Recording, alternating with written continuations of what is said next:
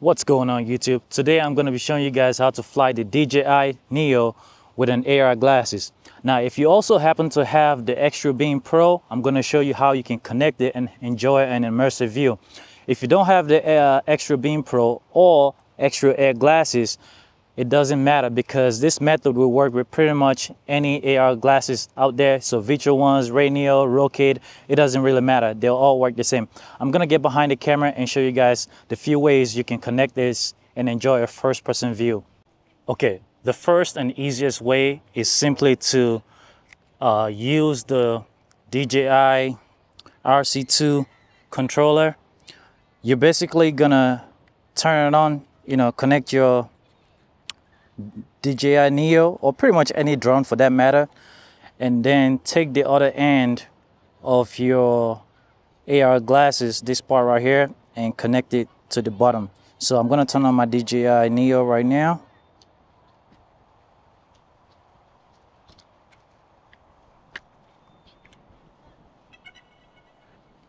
Put your glasses on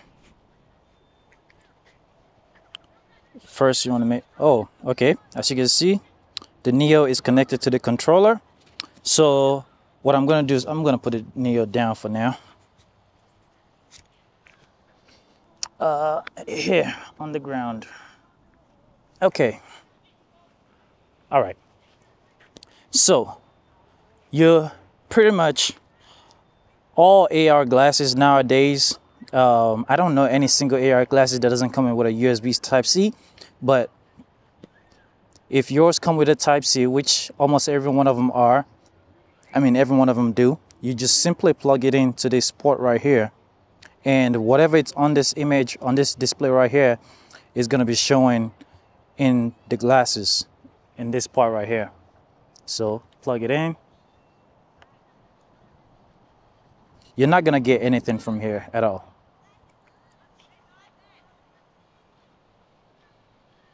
It's gonna take a second.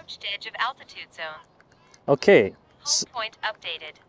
All right, so now I can see the the display of the Neo straight in my glasses. Let me see if I can show it to you. Actually, uh, yeah, let me see if I can show it to you guys. Hopefully you guys can see it. You see it? That's the that's the display of the Neo right there in the glasses. Now to make this even better, typically uh, if you have the Pro, if you have the Xreal, uh, Air Pro, you can simply press uh, a button right here and it's gonna turn this uh, glasses dark. If you don't have the uh, Pro or your AR glasses doesn't have the ability to turn it dark, you want to use something like this pretty much all of them are gonna come with something like this. So Xreal comes with something like this. This one right here, you put it on, or you can buy something like this on Etsy. Uh, you just simply put it on it. Now I broke this part, but it still works. I bought this because I, I lost my first uh, version of these in Mexico, but then I got the Xreal Air 2s. But if you don't have that you can just simply buy one of these on Etsy. But since I have this, I'm simply just gonna put it on it and make it darker. So now the display is gonna be, this part right here is gonna be darker. That way the display is gonna be much clearer. But at the same time, I'm still gonna have the ability to look at my drone. Let me uh, carry the drone and you guys will see. You see that? It's really hard to show, but you guys see it.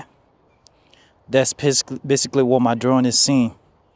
Now I'm gonna uh, do a small flight, that way you guys can see it. Actually, let me put the glasses on first. Woo! The display is crystal clear.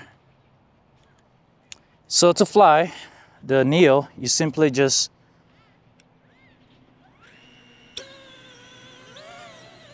and you just raise it up. Home point updated. And now I don't even need to. Hey, shut up, shut up, shut up. Sit. Sit. And now, basically, I can see the drone in first person view. Okay, now I'm recording. Uh, there I am right there. And there goes my dog going crazy.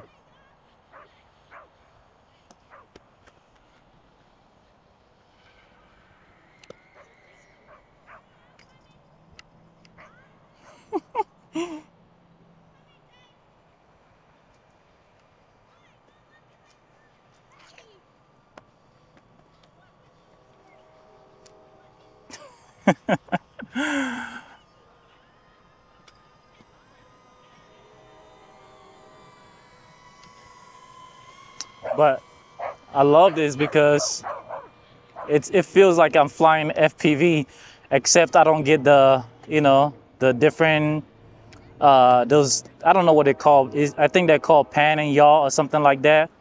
I don't get that, and I definitely need uh, ND filters. That way I can get good motion blurs. But yeah, that's basically one way you can fly the drone.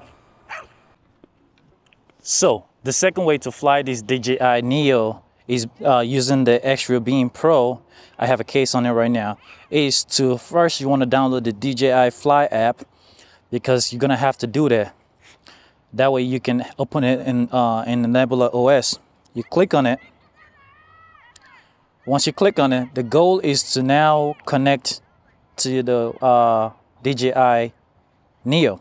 Now the thing is, once you are connected via the DJI Fly app, you cannot control the drone via the controller anymore. So you have to use a touch display, which is a bummer because you know it would be nice if you have that uh, 3DoF while using the controller, you know, but you don't have that option. So we're gonna click on connect and it's connecting to the drone.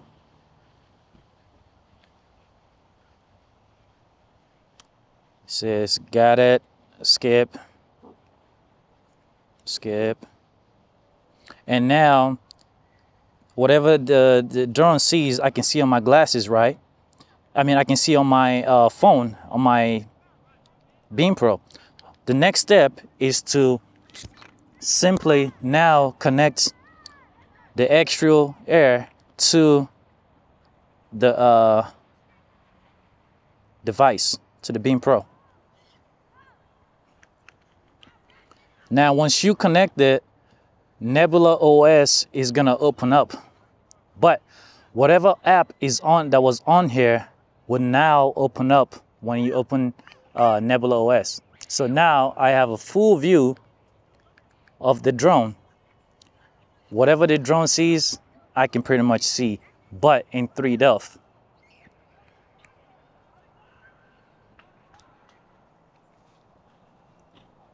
So I'm gonna show you, uh, show this to you again.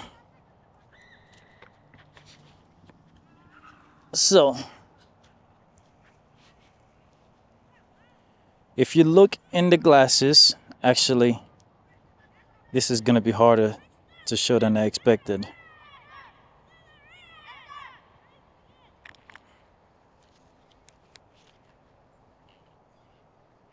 Man, this is hard.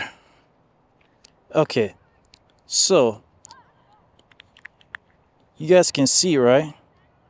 Man, this is hard. Much harder than I expected. but um man, I don't even know how to show this to you guys. I thought I would be able to do it, but I can't I can't really show it to you guys. So what I'm gonna do is I'm gonna put a screen recording. Uh, that way you guys can see exactly what I see. I wanted to show you guys this the second method, but I can't because um, there are some kids uh, playing football right now. They're, they're about to practice, so uh, it's not ideal for me to take the drone up and fly what I'm gonna do is I'm gonna go inside and basically show you guys what the step is. But basically whatever you see on your Xreal Beam Pro display right here is going to be projected into your glasses. But unlike the method of connecting to your controller, you're going to have 3DoF in your glasses. The downside is that you're not going to be able to use uh, a controller. You would have to control it with the phone, which, you know, it's not really, you're going to have to do manual control, which is not the ideal method. You know what I'm saying? The best way, absolutely, is using the controller. But uh, yeah. Thank you guys for watching. I'm gonna catch you guys in the next one. I got a lot more stuff on the Neo coming up, so stay tuned. Thank you guys. Peace.